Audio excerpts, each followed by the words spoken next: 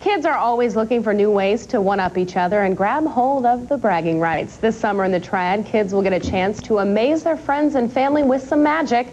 At the Fun Magic Camp in Winston-Salem, Scott Ertl will teach kids how to make things appear, disappear, even float.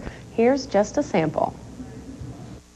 Four spades, a queen of hearts, and a seven of spades. No funny business here. All we do, take the queen of hearts, lay it here. Have the two black cards, lay them right next to each other. And just like that. Where'd my queen of hearts go? It's two black cards. Wait, what's happened, this? Benny? There's the queen of Ah. hearts right there. Ricky, there will be three sessions starting in June. You can get more information at www.funmagiccamp.com.